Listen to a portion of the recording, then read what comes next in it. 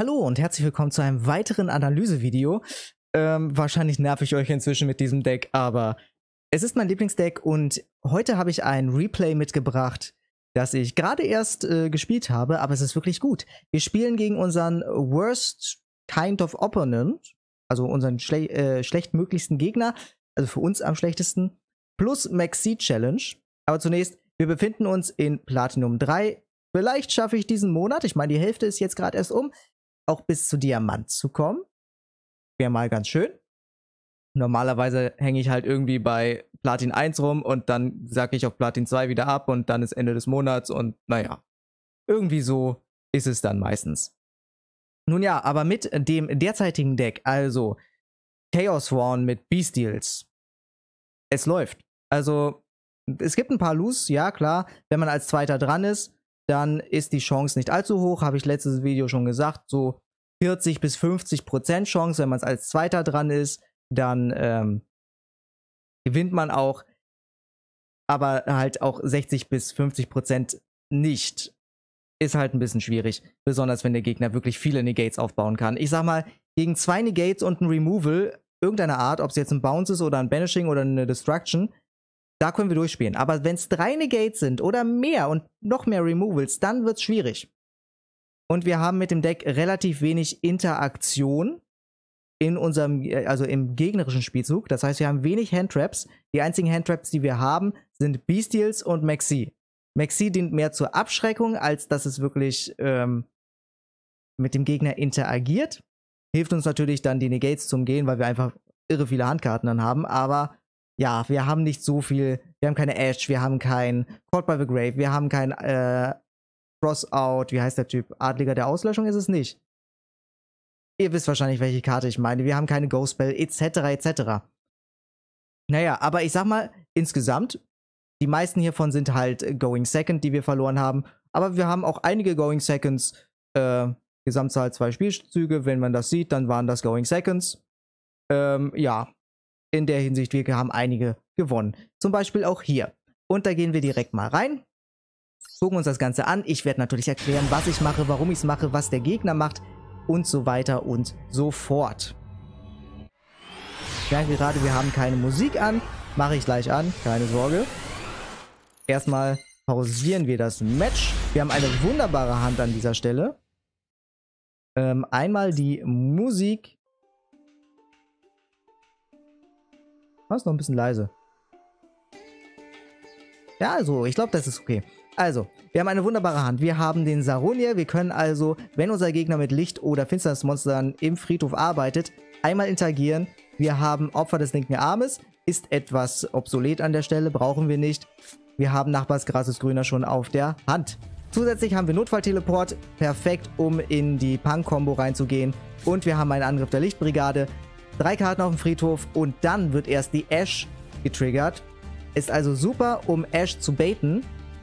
Kriegen wir dann keine zusätzliche Handkarte, kein lichtverpflichtete Monster aus unserem Deck auf die Hand. Aber es werden trotzdem drei Karten gemillt. Das kann nicht verhindert werden. Das ist ganz geil an der Karte. Naja, gucken wir mal, was passiert. Er aktiviert als erstes Branded Fusion. Hätten wir jetzt eine Ash, würden wir aktivieren. Wir haben keine Ash. Er äh, fusioniert den Albers und Ecclesia zusammen. Heißt, Ecclesia darf sich auf die Hand zurückholen. Am Ende des Spielzugs. Er holt Albion, Albion, Effekt, banisht zwei Karten. Wir sehen Saronier, er spielt auch Beastials. Beastials für uns super nervtötend, weil sie einfach mit unseren Friedhofskombos äh, interagieren. Wir benutzen Licht- und Finsternismonster. Nur. Naja, er beschwört Lubellion, indem er den Albers und den ähm, Saronier banished. Lubellion aktiviert seinen Effekt. Normalerweise, er wirft Verlockung der Finsternis ab. Warum? Keine Ahnung, vielleicht hat er kein Finsternismonster mehr und möchte es nicht riskieren, dass er in kein Finsternismonster reinzieht zum Banishen. Normalerweise würde die Combo jetzt sagen, Mirror Jade würde jetzt kommen. Er entscheidet sich aber nicht für Mirror Jade. Er mischt die beiden verbannten Karten zurück ins Deck und holt sich äh, den Abgr Abgrunddrachen Albalanetus. Warum? Ich habe keine Ahnung wieso. Normalerweise würde man Mirror Jade machen. Dann hätte er mindestens ein Banish, aber dadurch hätten wir auch spielen können. Das wäre kein Problem gewesen. Ähm, wie war das nochmal? Was kann Albertus? Ich nenne ihn jetzt Albertus. Ähm, falls diese Karte auf den Friedhof gelegt wurde, weil sie dorthin gelegt, du kannst deiner Hand eine äh, normale Polymersationszauber oder einen normalen Fusionszauber von deinem Deck hinzufügen. Ich denke, er will in den nächsten Zug dann entweder Mirror Jade durch nochmal Branded Fusion bekommen oder er möchte äh, Polymersation für eine Chimera. Naja, er äh, kann in, in, in, der Endphase nicht seine Ecclesia wieder zurück auf die Hand holen, denn wir benutzen Saronia, banishen die Ecclesia. Die Ecclesia kann nicht zurück, denn sie muss auf den Friedhof zurück auf die Hand kommen. Ja. Unser Zug. Wir ziehen nochmal Angriff der Lichtbrigade, aktivieren Angriff der Lichtbrigade, baiten die Ash, keine Ash da. Wir millen einen Felis, der wird nicht getriggert, weil es kein Monster-Effekt war, der ihn auf den Friedhof gelegt hat und ein Chaosraum. Leider auch ein weißer Drache Lindwurmstrahl. Haben wir nur einmal im Deck, aber egal. An der Stelle denke ich mir, okay, vielleicht weiß er, dass diese Karte Angriff der Lichtbrigade gar nicht so wichtig für mein Deck ist. Dann hauen wir mal die wichtigere Karte raus, nämlich Notfallteleport. Rangechained ist ein Schnellspielzauber, deswegen können wir den direkt als Chain benutzen. Den würde er, wenn er wirklich so gut ist und weiß, Angriff der Lichtbrigade ist ein Bait, das würde er negieren, wenn er eine Ash hat. Hat er aber nicht. Stattdessen hat er Max C. Ich konnte halt schon bei Angriff der Lichtbrigade sehen, okay, er, sein Feld ist aufgeleuchtet. Er konnte irgendwas machen. Er hatte eine, äh, ein Interrupt oder ähnliches, aber hat ihn nicht genutzt. Deswegen Notfallteleport nochmal testen, ob die Ash kommt. Denn wir wollen nicht, dass Nachbarsgras des Grüner geasht wird. Wir sie, beschwören sie Armen. Holen uns Lumina auf die Hand. Er darf eine Karte ziehen. Wir haben gespecialt. Und aktivieren sie Armens Effekt. Warum jetzt die Armens Effekt? Man könnte jetzt sagen, gut, wir könnten direkt Nachbarsgras des Grüne aktivieren. Er hat eine Karte gezogen. Dass das die Ash ist, unwahrscheinlich. Könnte natürlich sein, dann hat er sehr viel Lack gehabt und wir haben Pech gehabt. Aber hey, so läuft das Leben. Nein, wir aktivieren sie Armen zuerst, denn wir haben nur eine Hirschnote im Deck drin. Und wenn wir beide Foxy Punks, äh, Foxy Tunes und die Hirschnote möglicherweise, das reicht schon. Wenn die Hirschnote im Friedhof landet, haben wir ein Problem und die Punk Engine funktioniert nicht mehr. Deswegen zuerst der Effekt von Noah Punk Seamen, holt uns Foxy Tune auf die Hand. Foxy Tune aktiviert den Effekt, wirft sich ab, wirft unsere, unser Opfer des linken Armes ab, brauchen wir nicht. Könnte man natürlich auch benutzen, um ein zweites Nachbarsgras des Grüne aus dem Deck zu holen, denn das ist nicht einmal pro Spielzug. Naja, wir specialen auf jeden Fall aus dem Deck Noah Punk Hirschnote. Und jetzt ist der Moment gekommen, dass wir die Nachbarsgras des Grüne aktivieren. Er hätte theoretisch jetzt zwei Chancen, eine Ash zu ziehen. Aber wir können auch immer noch dann in den ähm, Chaos, Chaos Herrscher reingehen. Das liegt hier schon praktisch bereit. Wir melden auf jeden Fall ein paar Karten. Genau genommen, ähm, ich glaube, es waren so knapp 10. Müsste so ungefähr stimmen. Ja, ich denke schon. 1, 2, 3, 4, 5, 6, 7, 8, 9, 10, 11. 11 Karten haben wir... Nee. Die ist ja generell verschwunden. Also 10 Karten haben wir gemillt. Und ihr seht, wir haben gute Sachen gemillt. Wir haben den Shinobi Necro gemillt. Wir haben Lubellion gemillt. Wir haben Wolf gemillt. Wir haben Saronie gemillt. Wir haben Trickclown gemillt. Die aktivieren sich jetzt alle. Trickclown Effekt. Kommt auf unser Spielfeld mit 0-0. Müssen 1000 Life Points zahlen. Sie Armen Effekt. Boostet unsere Hirschnote. Vollkommen egal an der Stelle. Saronia-Effekt kann ein Lubellion auf den Friedhof holen. Er aktiviert seinerseits Saronia und banisht unseren Künstler, äh, Kunsttrick, bah, Künstler, Zauberer Tricklaun. Blöde Idee. Ganz ehrlich, blöde Idee. Ganz einfach. Denn erst wenn er beschworen wird mit 0 Angriffs- und Verteidigungspunkten, dann kriegen wir 1000 Schaden. Das heißt, wir kriegen A, nicht die 1000 Schaden. B, Wolf wird sich specialen der mit viel mehr Angriffspunkten kommt und uns kein, Lebens, äh, kein Leben abzieht und trotzdem Stufe 4 ist. Deswegen, er hätte Wolf banishen müssen. Ganz klar. Oder Lubellion. Einen von beiden. Weil das sind die gefährlichen. Warum er an der Stelle Trickclown banisht, keine Ahnung. Wir schicken Lubellion auf den Friedhof. Die armen Effekt. Trickclown aktiviert sich nicht. Wolf kommt aufs Spielfeld. Dann Saronir schicken wir auf den Friedhof. Holen uns Lubellion aufs Spielfeld. Den Lubellion zu banishen mit seinen Saronia hätte dann in dem Falle auch nichts gebracht, denn wir haben einen zweiten Lubellion schließlich durch Saronia auf den Friedhof geholt. Äh, ja, gemillt. Und somit wäre das Logischste, was er hätte machen können, den Wolf zu bannen. Naja, er zieht auf jeden Fall weiter. Wir aktivieren markierter Wiedergewinn aus dem Deck. Gehen jetzt in Chaosherrscher. Aktivieren den Effekt. Und chainen direkt Hirschnote, um unseren Chaos Chaosherrscher zu schützen vor einer möglichen Ash Blossom. Wenn er jetzt Effektwähler hat, gut, dann ist Chaosherrscher am Arsch. Aber trotzdem, funktioniert. Wir holen uns den Siamen zurück. Er hat keine Ash. Er hat keinen Effektwähler. Siamen kommt. Effekt von Chaosherrscher. Kelbeck zeigen wir vor. Magnamut. Einen weiteren äh, Pangsiamen, einen Wolf und eine Snow. Besser kann es nicht laufen. Wir holen uns Magnamut auf die Hand. Es aktiviert sich Wolf. Äh, Wolf kommt gespecialt. Es aktiviert sich Hellback, die alte Vorhut. Fünf Karten von beiden Decks auf den Friedhof. Wolf kommt. Wir machen eine Synchro der Stufe 11 mit dem Chaosherrscher und sie Armen. Und holen uns zwei Endbestrafer. Und an dieser Stelle müssen wir sagen, durch Calbeck haben wir eine sehr schöne Karte gemildt. Nämlich Destrudo, der Schauer des äh, verschwundenen Drachen. Sehr wichtig für unsere Combo mit zwei Endbestrafer. Destrudo aktiviert sich, wir zahlen äh, und die Hälfte unserer Life Points kommt als Stufe 3 Empfänger aufs Spielfeld. Wir haben einen Stufe 4er ausgewählt, deswegen hier werden abgezogen von seiner eigentlichen 7er Stufe. Hat er noch 3. Wir machen eine Synchro der Stufe 7. Ausnahmsweise nicht zu Tagesanbruch Drexter, sondern zu Michael. Endlich kann ich mal flexen mit meiner Royal. Wir aktivieren den Effekt von Chaos Herrscher, Chaos, äh, der chaotisch-magische Drache. Banishen zwei Karten, nämlich Shinobi Necro, der sich gleich selbst specialen wird. Und Chaos Valkyrie, die eine Karte vom Deck auf den Friedhof legt, aber die, die dann in diesem Zug nicht ihren Effekt aktivieren kann. Es aktiviert sich Shinobi Necro, es aktiviert sich die Chaos Valkyrie. Heißt, wir Shane blocken, falls er irgendwie den Shinobi Necro verhindern kann.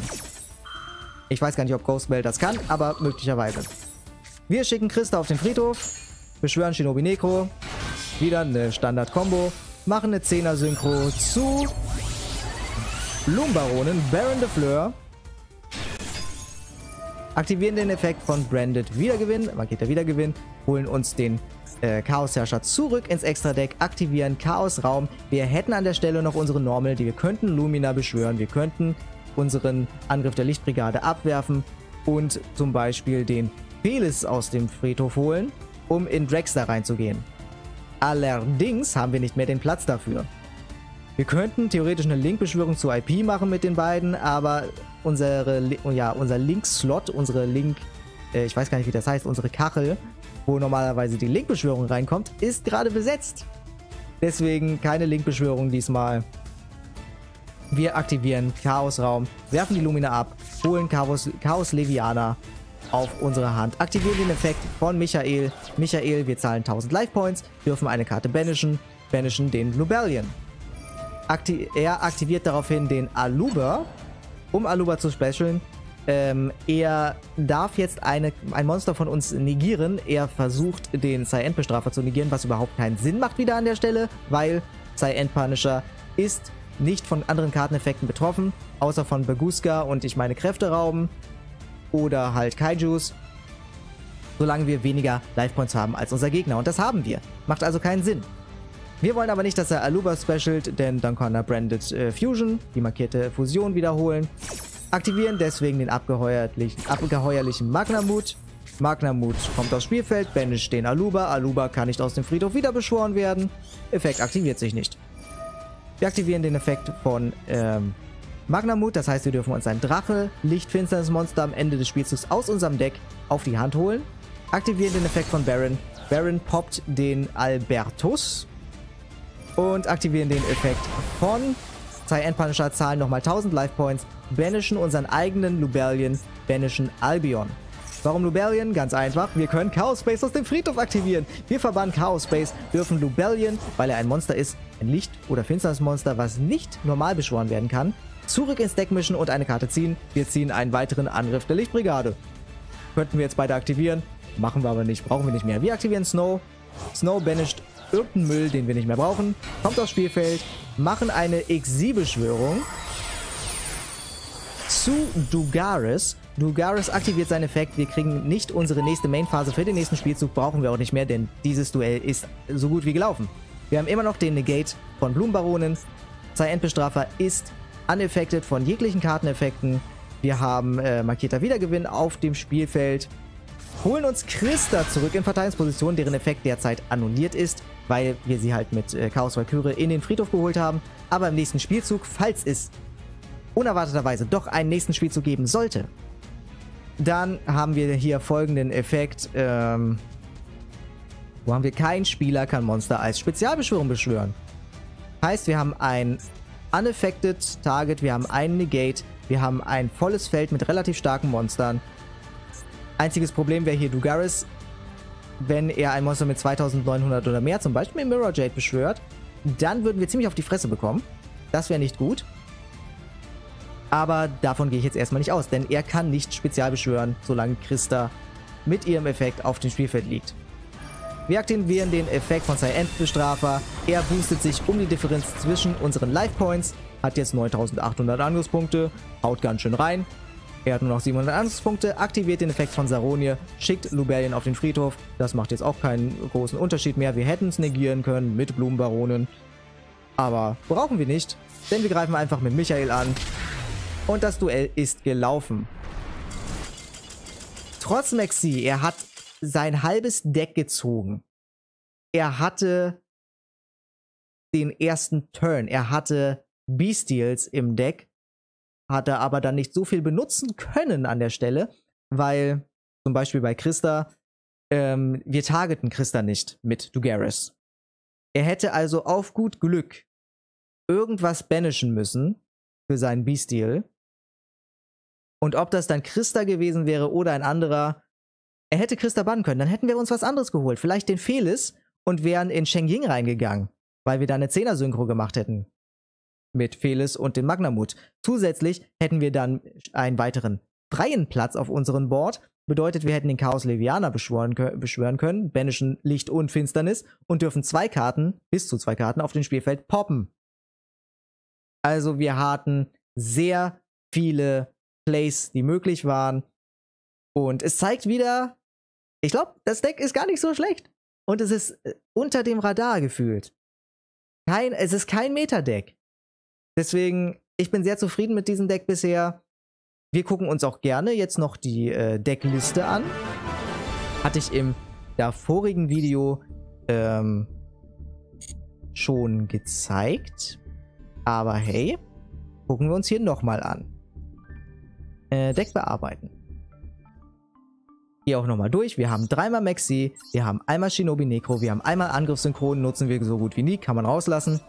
Eine Lumina, eine Minerva, dreimal Sie Armen, dreimal Wolf, einmal Lindwurmstrahl, einmal äh, Kollapsschlange, äh, zweimal Raiden, einmal Felis, einmal Künstlerzauberer Trickclown, einmal Märchenschweif Schnee. Kann man auch zweimal reinnehmen, dann würde ich den Angriffssynchron rausnehmen. Dann Chaos Valkyrie kann man theoretisch auch zweimal reinnehmen. Dann einmal Keldeo, kein Mudora. Äh, einmal Kel äh, zweimal Kelbeck als Handtrap sozusagen. Ganz nett und mild uns halt Karten. Einmal Agido. Da die ganzen jetzt ja auf 1 sind, äh, naja, packen wir halt nicht so viele rein. Ist aber gar nicht so schlecht, also ihr seht, das Deck funktioniert trotzdem. Dann einmal Hirschnote, einmal Magnamut, zweimal Saronie, einmal Druiswurm, zweimal Boldrake, einmal Destrudo, einmal Christa, einmal Liviania, einmal der Chaos-Schöpfer, zweimal Foxytune, einmal Chaos Neptus, auch sehr schöner Interrupt, wenn eine Karte auf unserem Spielfeld oder gegnerischen Spielfeld zerstört wird durch einen Effekt, zum Beispiel auch durch unseren eigenen Effekt von äh, Blumenbaronen, können wir irgendwas poppen und der Effekt würde sich im Friedhof aktivieren oder aus der Hand. Funktioniert auch. Wir müssen halt nur ein Licht- und ein Finstersmonster im Friedhof haben, neben Chaos Neptus. Wie gesagt, Chaos Neptus kann auch von der Hand gespecialt werden. Und wenn Chaos Neptus kommt, darf sie eine Karte auf dem Spielfeld und zwei im Friedhof des Gegners verbannen. Müssen aber beide da sein. Also wenn er kein, keine Karte auf dem Spielfeld hat, dann können wir auch nichts im Friedhof banishen. Ist ganz nett. Funktioniert in beiden Spielzügen, deswegen nice.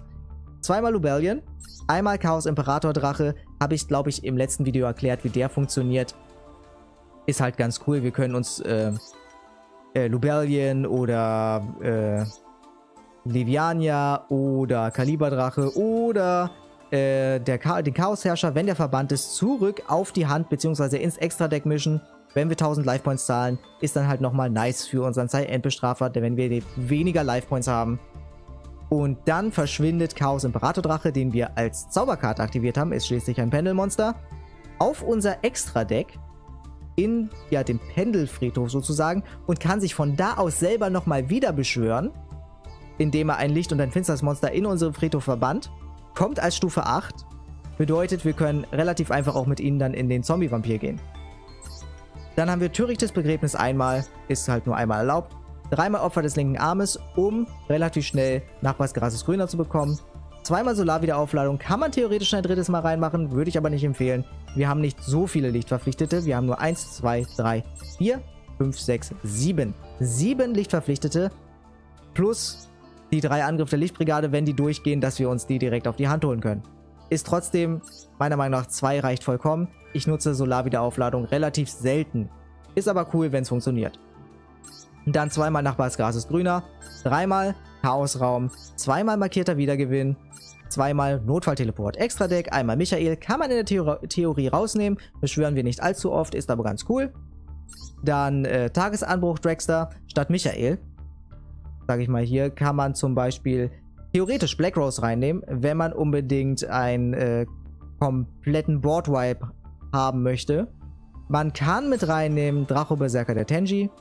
Man kann mit reinnehmen glühender Rotdrachen Erzunterweltler. Schön, wenn man einen Chaos-Herrscher auf dem Spielfeld hat. Dann müsste man hier allerdings einen Einer äh, Synchron reinnehmen. Dann heißt, äh, das heißt dann statt dem Angriffssynchron Jet-Synchron zum Beispiel. Dann kann man relativ einfach auch den glühenden Rotdrachen Erzunterweltler machen. Sehr gute Karte. Oder man packt da rein ähm, Access Code Talker, kann man auch überlegen. Ähm, Kaliberschwertdrache oder habe ich hier gar nicht in den Favoriten. Äh, Albtraumritter Einhorn. Auch eine gute Karte, die man stattdessen reinnehmen kann. Ähm, wo war ich eigentlich ab äh, stehen geblieben?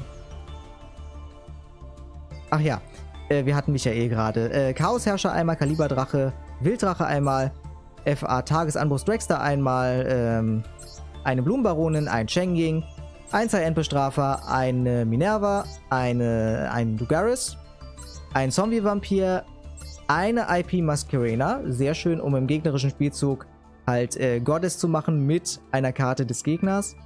Oder halt den Topologic Ceroboros. Dann haben wir Curious, der lichtverpflichtete Heili äh, Herrscher. Holen wir uns nicht allzu oft. Ist wirklich selten. Kann man drauf verzichten.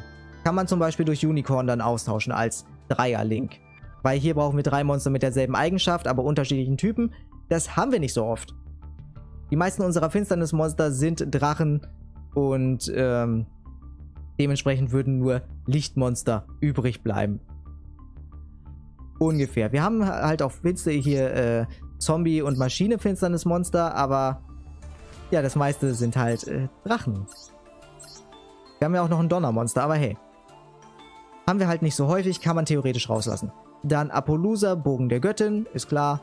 Omni-Negate ist nice. Topologic Zeroboros, Bossmonster, das das ganze Feld banishen kann. Und Unterweltlergöttin der geschlossenen Welt. Mit IP ein sehr schwer loszuwerdendes Target. Ist ungefähr so ähnlich effektiv wie ein Kaiju, nur halt deutlich schwerer zu beschwören. Und ist halt auch unser einziger Effekt, der so Kaiju-like ist, also ein Monster des Gegners einfach removen kann als Material. Ja, so viel dazu. Ich verabschiede mich an der Stelle. Ich denke mal, wir sehen uns im nächsten Video. Ich weiß nicht, ob ich das Ganze hier bis Diamond äh, dokumentieren werde. Ich werde es trotzdem mal Road to Diamond nennen. Ähm, wenn es euch gefallen hat, gerne ein Like da lassen, gerne einen Kommentar da lassen. Ich antworte auch gern auf Fragen zu dem Deck, äh, sofern mir das Wissen gegeben ist. Ich verabschiede mich. Wir sehen uns das nächste Mal. Bis dahin. Ciao, ciao.